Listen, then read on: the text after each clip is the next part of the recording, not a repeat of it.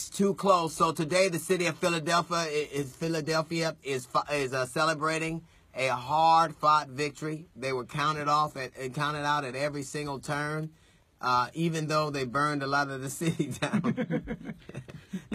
I mean, the parade is going through some areas that look like war zones. You gotta love a, a, a, a group of people that banded together and came through. They they played well all year.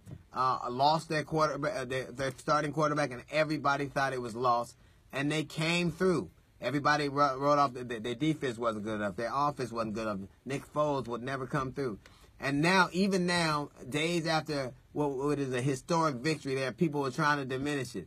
Oh well, if Butler had played, Butler is a good player on a mediocre defense. He's not like you know, Ray Lewis or Lawrence Taylor or Deion, someone a, a transcendently great defensive player that shuts. He he wasn't that guy. He was the best guy on an okay defense. Nick Foles did what he did. He did what he did to, to New England. He did it to Minnesota. Minnesota had, a, had, had an exemplary defense. He carved them up. They won.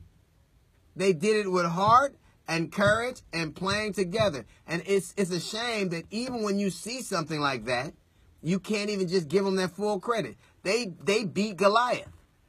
They punched Goliath in the mouth, and they won. And now, no matter what you say, I don't care who would have played. People could, people could have an argument, uh, argument that if uh, Wentz had started, that they'd have won by more. So, so the bottom line is, a city uh, that needed it. Philadelphia is a great city with a great sports tradition, with great fans, and they finally rewarded on a great stage. They were counted out by everybody, and they won. I don't care who didn't play. I don't care how they didn't play. I don't care what happened. They beat Brady, and they beat him at his own game by playing hard and smart and with courage. And you say what you want to say. Well, they lost the game. The defense lost the game. Tom Brady was great. Tom Brady gave up the fumble. That that fumble was, was it, that that one defensive play changed the game.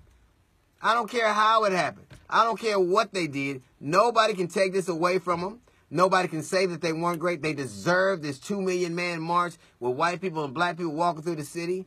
And I hope after they're finished, all of them give a hammer and nail and be, rebuild all the stuff they burned up. That's all I'm saying. Congratulations, Philadelphia. That's a note from the GED section. We got the Jazz Report coming up in 15 minutes. It's the D.L. Hughley Show.